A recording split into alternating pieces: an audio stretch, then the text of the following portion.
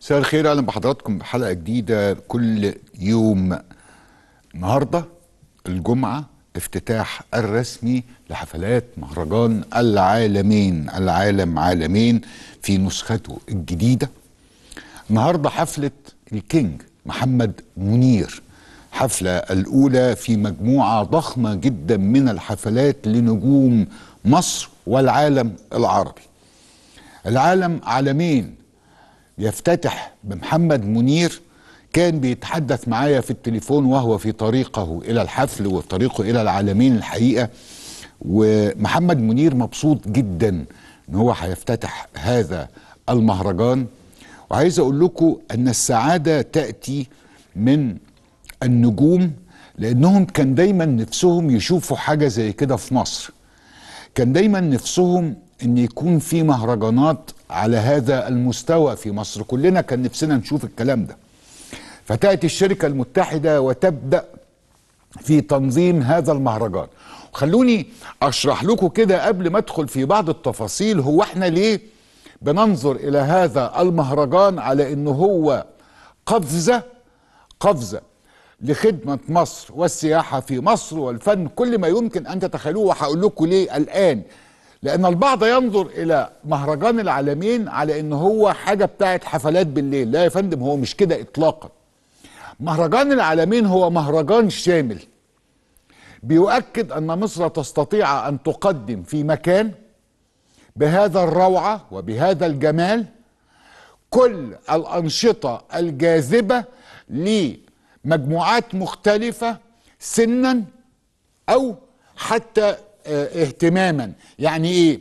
يعني لو حضرتك بتحب الرياضة أنت يكفيك إنك أنت تتابع المهرجان الرياضي والبطولات الرياضية اللي شغالة طول الفترة القادمة لغاية نهاية المهرجان وهتلاقي فيها مجموعات سباقات سيارات موجود. عندنا بحر موجود سباقات بحرية موجود.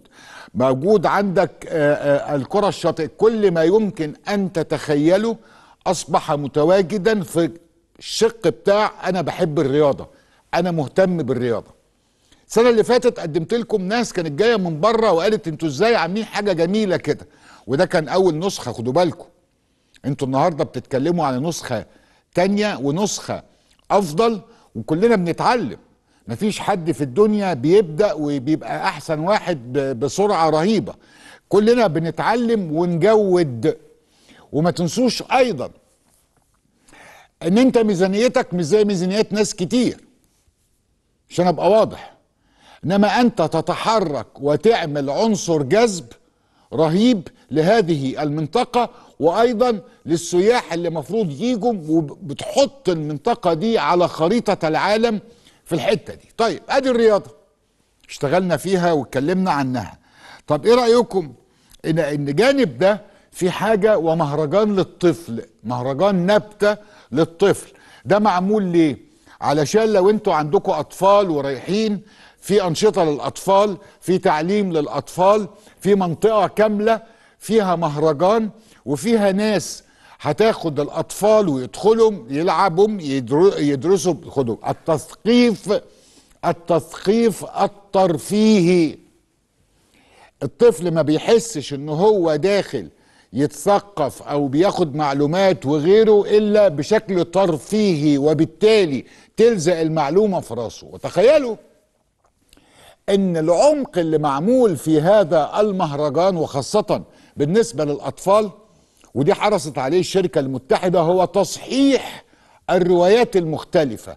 أنتوا النهارده يا أطفال بتتابعوا ما يحدث في غزة. ما هي القضية الفلسطينية؟ إيه هي أبعاد كذا؟ وعلى فكرة اختياري هو يروح يقعد هنا هو يروح يقعد هنا هو بيحب الرسم هيروح يلاقي أساتذة رسم قاعدة تعلمه الرسم بيحب السباحة بيح... كل ما يمكن أن تتخيلوه. اذا ده قطاع تاني آخر.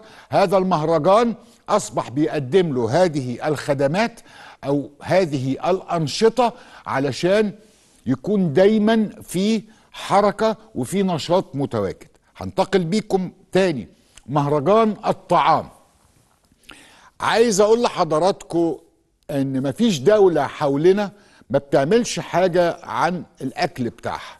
واظن إحنا البلد الوحيدة اللي محتاجة ان اكلها يبان في مهرجان ويستحق. إحنا مصر.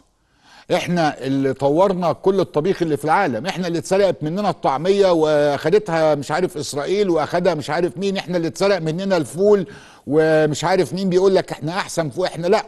ومش بس كده. أنتوا بتتكلموا على طعام وعلى منيوهات من أيام الفراعنة. ما تنسوش ده.